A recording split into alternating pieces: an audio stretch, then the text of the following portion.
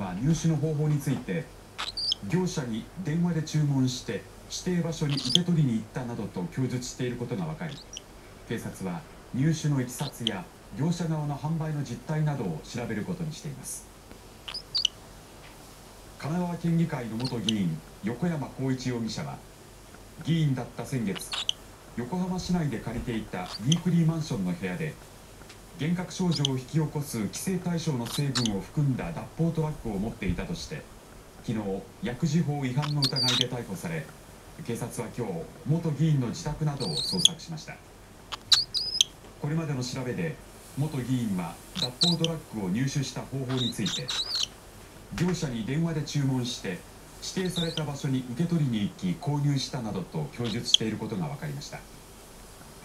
さらに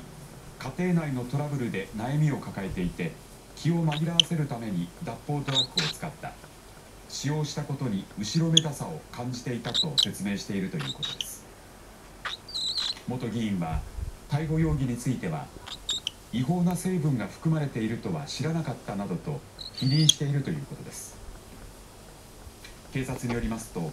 元議員が借りていた部屋からは十数点の脱法トラックが見つかったということで警察は入手のいきさつや業者側の販売の実態など